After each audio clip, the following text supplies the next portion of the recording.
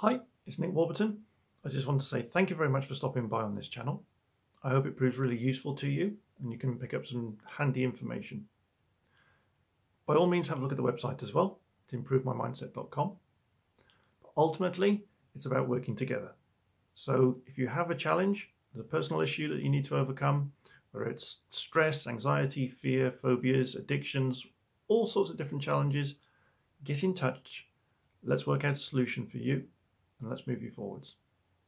I can work either one-to-one -one in person or via a Skype video call. So it doesn't matter where you are in the world, we can still work together. Let's take you forwards and thanks again.